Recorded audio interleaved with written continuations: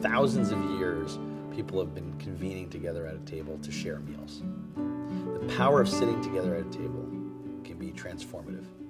And we always talk that it's not just what's on the plate, but it's the context and the people with which you share a meal that creates memories that are lasting forever, that stick with you for your entire life, that you can go back to, and you share together, creates connection.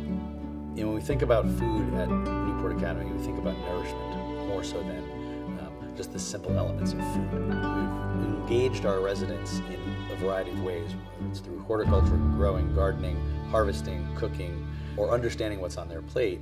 We believe that, that the experience of the meal, everything from where the food is sourced from, um, how it's prepared, who you eat with, how you eat, all of that is what we mean when we say the meal is medicine.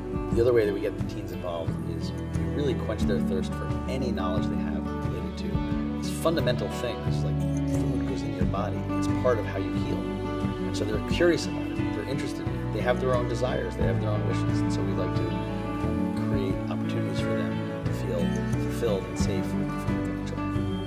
We provide tips, guidelines, recipes on how to create a nourishing experience at home continue the work that's been done at Newport Academy. You know, some of the simplest things that people take for granted in this world is putting your phone down, being mindful, looking each other in the eye. Uh, sharing a meal together is not just about how quickly we can polish off the delicious thing that someone prepared, but it's about the time spent in the kitchen, the time spent setting the table, discussing the day's journey.